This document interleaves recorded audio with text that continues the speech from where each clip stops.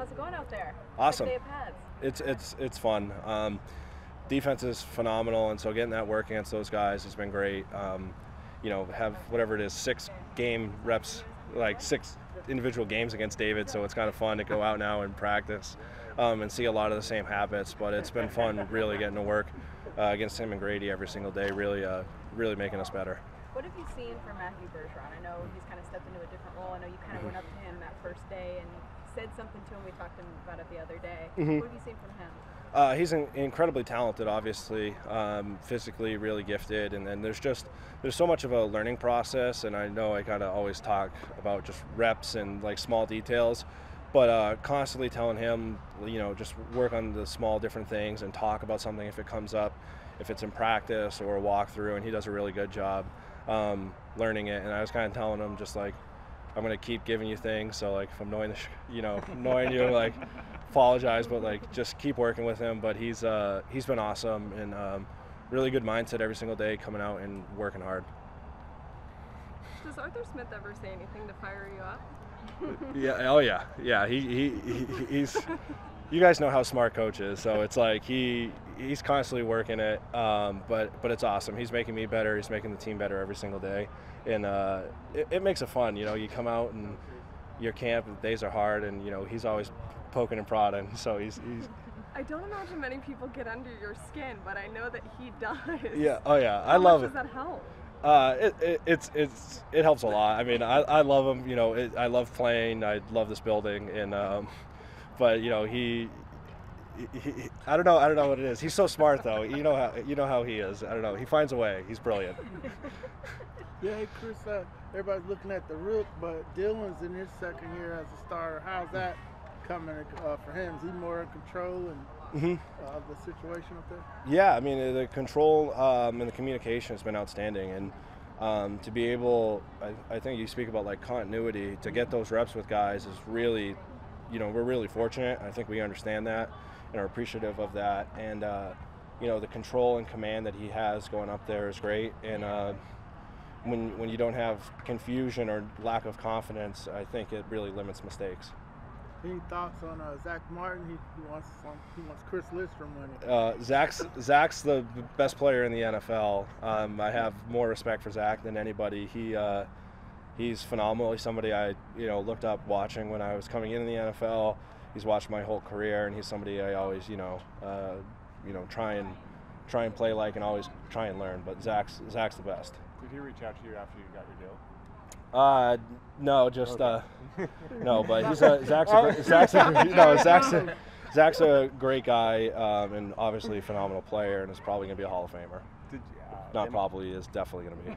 They might ask you this, but is this part of the Arthur Brian Nielsen plan, or Yeah, I'm nowhere near as good as him. It took I had this for like a week and a half, so it took a week and a half to notice. But uh, um, yeah, no, I- nowhere near as good as those guys. Chris, we just spoke to Arthur Blank Blanken there about this being year three of a three-year plan. Now you've been with this team for a little bit now. From your perspective, what's it like to sort of see that progression getting to year three of that Mhm. three-year plan? I, I think they just talk about the foundation of habits that um, we've built and the expectation um, of how we come out and work every day, and that that matters. I think you know the guys who've been here, you know, we love it. Love Coach Smith, love Terry, love this program, and um, the culture and identity that we have. I think guys know we have an identity, and I think guys uh, take a lot of pride in it. What is it about this culture and identity that allows so much of you to buy in so quickly? Uh, it's you know, coach talks about the ethos, and it's going to be you know hardest working, most professional team, um, and we're go out here every single day to compete against each other to make each other better, and then at the end of the day to be our best uh, to get after it on Sunday. With it being that year three, like when you think back to the last three years, at this point, you're or week two in camp. Mhm. What's maybe the difference this year compared to those other two years? I think you learn, you know, just from myself, you learn like it's my third year in the system, and so the mental things, you know, you're obviously you're still taking tons of notes on install, but it's so not so much like big picture. It's really kind of, you know, it's kind of a luxury to be able to focus on on the small details of different things, or be able to see the big picture of a play and a scheme. And so it's just the longer you're in it, the more you can learn, um, and and I think it just uh, kind of makes it not easier, but makes you focus on just more more things. Would you say that's pretty universal with some of the other veterans too? Yeah, I would say so. I would say so, and that's um, continuity on the line too. Kaleb and I, it's you know five heading into five years playing together, third year in the system. So it's like we know exactly what the coaches want from us. We know exactly what we need to do to be productive on a play, and then um, now we're really just talking of what the look the defense is giving us and how we're going to play it. And then once we say it, we both know kind of how it's going to look and how it's going to feel. You mentioned year five, alongside Kaleb. Are there still things you're kind of figuring out about him still at this point, or is it all just kind of? I, I have a good I have a good understanding of Kaleb, but uh, you know you never know. You never know with Kaleb what's going to come up. But um, you know I love him as a person, the player. Um, he's incredibly physical, and uh, he's you know I'm super fortunate. I think we work really well together. It's funny sometimes watching him pick grown men up, but uh, he's you know he's a really talented player and super fortunate to be with him. Anything else? You were around Desmond a little bit last year. How have you seen him maybe go into even more of a leadership role this year? Just taking command of the offense. I think he was doing a great job of that last year as a rookie, which you know I think is very hard to do as a rookie. And then he just continued that you know throughout the offseason and through OTAs and into training camp. So it's, it's been good for him so far. Your coach Art talked about uh, your time with Ryan Tannehill and you were trying to learn as much as you can from Yeah. him. Uh, what did that mean, and what were some of the lessons you learned and the things you're using now? Yeah, I just tried to uh, tried to model everything I could after after Ryan. Um, you know, just from being a pro, how to watch film, you know, how to carry myself off the field, on the field, in the meeting room. Um, really learned a lot from that guy. Give him a ton of credit for taking him under, taking me under his wing uh, at that point in my career, and and now I think it's helped me just to be able to do a little bit of that for Desmond, just to see, you know, I've been around this league for a little bit now, and just you know, share my experiences with him. How the big uglies up front holding up? How they look? They've been good, man. They've been awesome. You know, obviously with the full pads coming on, it's good to see some some beating and banging around in there. So uh, it's been good, man. It's been a great competition. You know, with the offense and defensive line, and continue it. Offensive line winning. Yeah, absolutely, absolutely, absolutely. And um, you know, as the exhibition season's you know coming up here, you got joint practices next week. Uh, what do you want to show to, to uh, when you get in the games out there? Just continue to find ways to improve. You know, obviously preseason games are big, um, but not try to make it too big. Still go out there and, and use what we've been doing in practice, and then once the game comes around, just go out there and have fun and uh, you know try to win a football game. What could potentially make this offense so dangerous? I know we consistently talk about the versatility. There's weapons all over the place. Mm-hmm. But what else? Yeah, I think it like like like you said, it's the weapons obviously, and just getting the playmakers the ball in space. You know, whether that's Bijan, CP, Kyle, uh, Drake. Obviously, we got a ton of guys that you know makes it a lot easier on the quarterbacks, and got great coaching staff, Coach Rago Coach Art calling the plays, and uh, just finding ways to get creative and get them the ball as quick as we can. Bijan today, Arthur Smith was talking about his maturity and Yeah. how as a rookie he sees that almost immediately. What do you take away from your time that you've been around? Yeah, absolutely. Just you know, he's a quiet guy, doesn't talk a whole lot, so kind of been in the dorms trying to get him out of his shell a little bit, which which has been which has been fun. Um, he carries himself like a pro, and that, like I said, for a rookie, that's you know sometimes that's that's easier said than done, not easy as said and done. So um, yeah, he's been great. Um, obviously, super talented. Love being love working with him. Continue to work with him. What do you do to try to get him out of his shell? Hey, Bijan, come out in the living room. You know, let's uh, let's talk a little bit. Let's go over some plays or something. But no, it's been it's been good. He's been awesome. Did Coach Art uh, discuss your uh, personal growth from 18 till now? Um, can you touch on that a little bit? Or Yeah, I've just. grown we all do. Yeah, just um, you know, obviously, you know, I have a wife now. I have two two little boys, so really everything I do is for them at this point in my life, and um, you know that, and them coming here, and you know, Art and Coach Rags just instilling that confidence back into me that I feel like I haven't had in a really long time. So that's been great to come out here and just rip it around a little bit and have fun. Did you watch the quarterbacks uh, show on uh, Netflix? Yes, I did. Uh, any uh, takeaways other than my camera? Are you gonna cameo on there? Me too. you got me on there? Yeah. Other than that, I was I that was just me in there. So, nah, it was it was a good show. I enjoyed it. Uh, Logan, can you talk about the competitiveness in practice? I see toward the end you slammed your helmet a little bit after after the offense ran out of time. Can you just talk about how competitive it is against that defense? It is, you know, and um, you know, it's practice. I'm a competitive type guy, and obviously, I'm trying to win every time that I'm out there. And uh, just a situation that came up, we didn't execute it as well as we like, but we'll use that as a learning experience. You know, especially here in practice, that we can learn from that and go in the film room, and then you know hopefully when we get in a game situation, we'll nail it. Thanks, Luke. Thank you. Yeah, thank you guys. You want to tell us how camp is going so far? No one's gonna ask you any questions. Go ahead. Yeah, so so far so smooth. First day legs was a little heavy, just a little heavy, but camp are coming back for sure. It's been a it's been a, it's been a blessing though. It's a great group of guys, great culture here, so I'm excited. I'm glad that you said culture because that's been a theme to what everyone has been talking about is the culture here. How would you describe it? Yeah, I mean, you come into a lot of locker rooms sometimes, you know, there's certain egos and things like that, but uh, from the jump, coming in here, a lot of guys they're they're fully bought in to what the team has.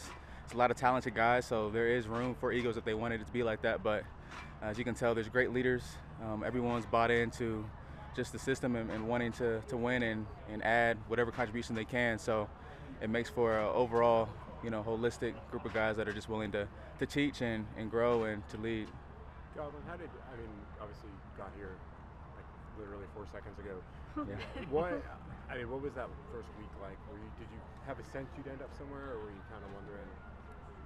You know, Yeah, I mean- if it was kind of how the NFL tends to go for people.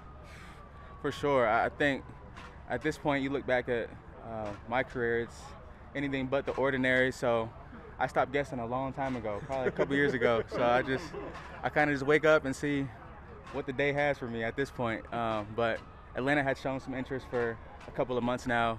Uh, came in a few months for a tryout, and you know I know that the opportunity might open back up again. So I was excited when they hit me back up to, to get back in here. Um, so it's been it's been smooth. Uh, Like I said, it's a, it's a great coaching staff, great culture. Guys love it here, which makes it a lot easier to come in and, and fit right in.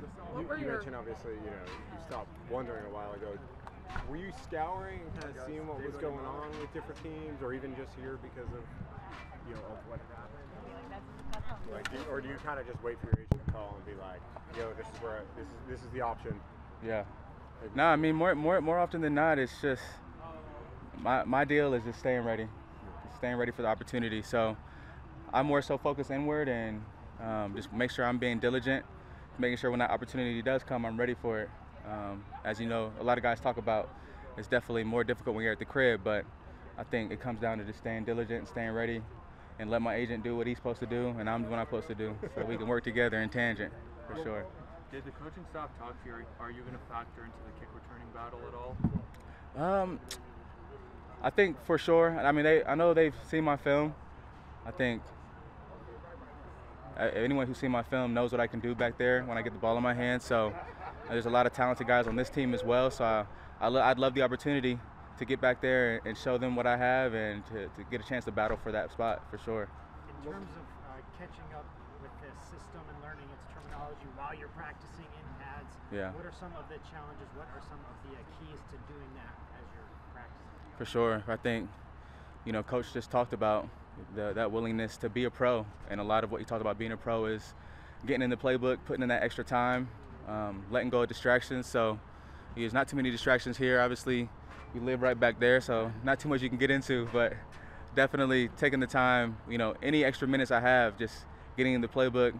Um, making flashcards, leaning into some of the vets. Like I said, a lot of the guys here are super open to just helping everybody come along. So asking them questions, asking coaches questions, uh, and just taking advantage of any time I have for sure. I'm curious with you just coming in here, what your first impressions are of kind of everyone around you, the vibe around here, just Mhm. fresh eyes telling us what you see. For sure, for sure. I think it's a it's a really talented team off the rip. They've even made some additions. I know. I, I mean, I don't know if you guys know. I came out as a safety, so I was actually in the safety class as uh, Flowers and, and Jessie, guys that have taken off in this league. And so seeing them on the other side of the ball now is, is pretty cool, seeing how far they've come. So there's a lot of talented guys on this team. One thing off the rip, like I said, and there's a there's a certain humility and a certain hunger that this that this team has and that these guys have that I think is what what makes championship teams. So I'm excited to be here. What were some of your early conversations like with Atlanta? I, I know you mentioned that you kind of had some communication with them a few months ago. What Yeah. was kind of the first few conversations like with them? Yeah, I think it was more so they're just kind of just hinting, okay, we want you to come out for a tryout, whatever, whatever have you. I've done a a couple of tryouts at this point, so you just never know when it comes to those opportunities.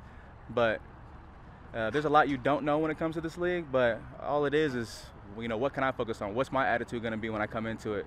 You know, what kind of positive mindset am I gonna have? So that was it was more so vague at first, but I think you know showing them what I could do definitely paid off. Thanks, guys. Okay, David. So once the pads came on, Yeah. how did it shift in training camp? Uh, so it just gives you a little leeway to work, a s- you know, work certain certain rushes and work certain uh, techniques. But uh, apart from that, I don't think the idea has changed or the mindset going into practices has changed.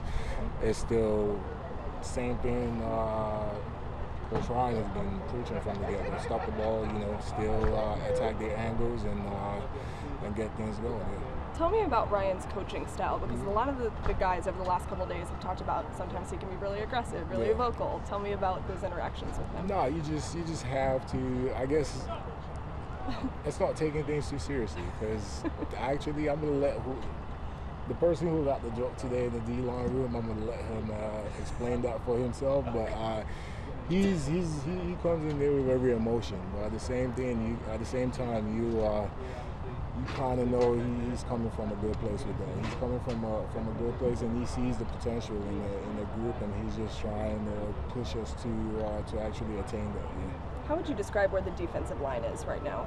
We still it's still we still working. You know, it's still uh, it's still early in the process. We still have bare weeks to go, and uh, you know the idea is always every every every day you come out here and get get get better. You know. Yeah.